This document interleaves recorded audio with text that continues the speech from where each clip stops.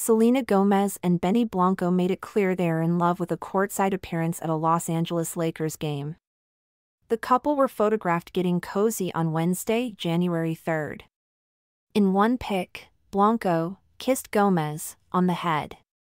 During other moments at the game, Gomez rested her head on Blanco's shoulder, he kissed her hand, and they were caught giggling on the Jumbotron. The date night marked the duo's first public outing since Gomez confirmed their romance last month.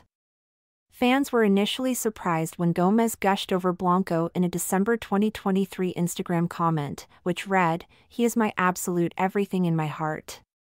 He has been the best thing that's ever happened to me. The end. He's still better than anyone I've been with.